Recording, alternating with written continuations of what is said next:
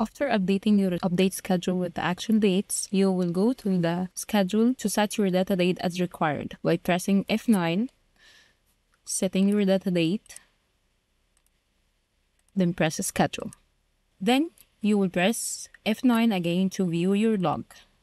After viewing your log, all the problems for the update schedule will be shown. Here, for example, the out of sequence activities that causing a problem. By copying the activity ID and searching for this activity,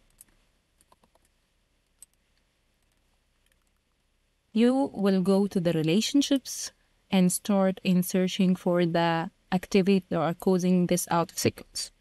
Here in this activity as shown in the physical percentage, it's in progress and also have a predecessor that are still in progress with a finish to start logic tie.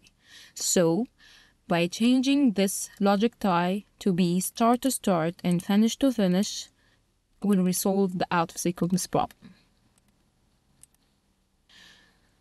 Then after finishing this activity, you will make sure that all the predecessors relationships are correct.